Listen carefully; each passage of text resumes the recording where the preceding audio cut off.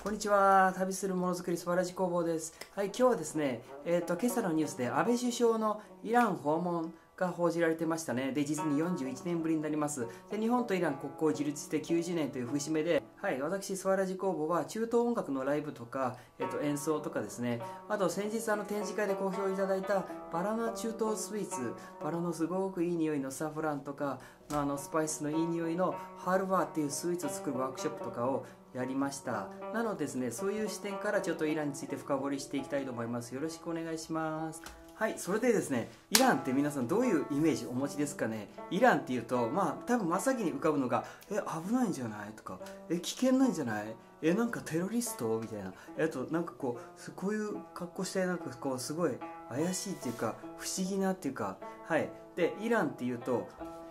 ペルシア。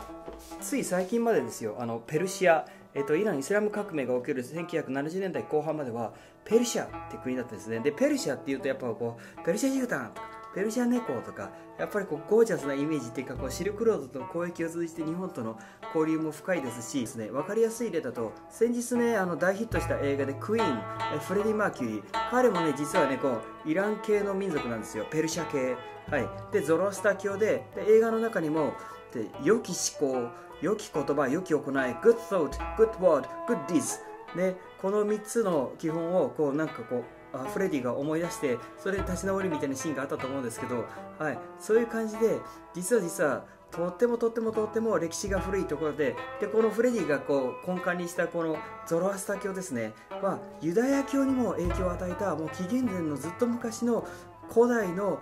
世界初の刑事宗教と言われてるんですね。なのでとてもとても古い文明があって人類初の農耕文化が栄えたのも大体この辺り中中近東のこの辺りなんですね。はい。それでですねまあそれはもう紀元前とかめちゃくちゃ昔なんですけどもうちょっと時代が下って、えっと、奈良時代ですね。日本にえっと、奈良時代だから、法隆寺とかあの辺かな、はい、でシルクロードとも非常にこう交易がありまして正倉院にも奈良の正倉院にもペルシャからの宝物宝物がいっ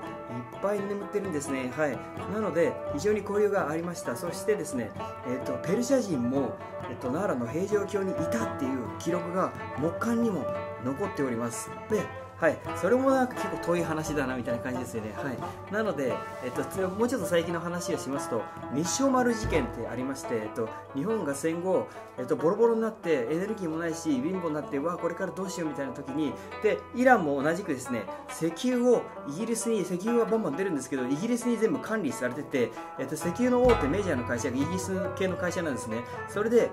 イラン、自分たちの石油なんですけど石油を輸出しないでくれて私の許可なく輸出しないでくれてイギリスの制裁ですね今も経済制裁受けてますけど受けてるところに、えっと、日本の日照丸っていう船が直接日本からこう赴きですね。イギリスの妨害も乗り越えてそれで直接イランまでペルシアまで石油を取引しに行ったっていう事件があったんですね。日照丸事件って言うんですけどその後あの経済復興としてがんとかして日本頑張ったじゃないですか。なので日本イランからしたらとっても親日国なんですね。実はスーパー親日国。なので、まあ、安倍首相が行くっていうのもやっぱり当然ですね。ビジネスチャンスがあるんですよ。当たり前です当たり前です。なのでこれを生かさない手はないですね。で私の親戚とかもね実際ねイランとか訪れてやっぱりいろんな印象を語ってるんですけど実は実はとっても穏やかでホスピタリティにあふれる人々なんですよ、はい。でまあ、季節がいい時だと、まあ、こう季節こう地球の緯度が大体同じぐらいですから、えっと、春夏秋冬ってあるんですね。それでもうみんなこうピクニックとかして、まあ、僕らがこうやって旅行とかしてると「おいどこ行くんだ？おい日本から来たんだ。一緒にご飯食べていきないゆっくりして,、していきだよ」みたいな感じでもうとってもね穏やかな人たち。